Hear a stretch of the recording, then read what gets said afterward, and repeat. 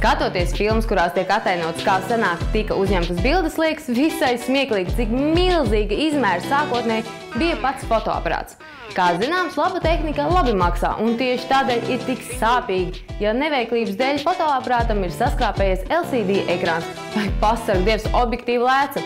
Lai izvairītos no šādām situācijām, dizainers Sun Ho Sin un Jong Yeon parki ir radījuši lielisku fotoaparātu konceptu ar nosaukumu Zero. Jaunais fotoaparāts pēc izskata personīgi man atgādina atveramo telefonu. Lai sāktu lietot fotoaparātu, tā aizsargvāks jāatlop par 360 grādiem uz aizmuguri. Vākam ir ne tikai objektīva aizsargfunkcija, tā iekšpusē ir iebūvēts LCD ekrāns, kurš arī dzen tādā veidā tiek pasargāts no skrāpējumiem. Zero sakarā vēl varētu pieminēt vien to, ka tas tik tiešām ir maza izmēra plāns un glīts.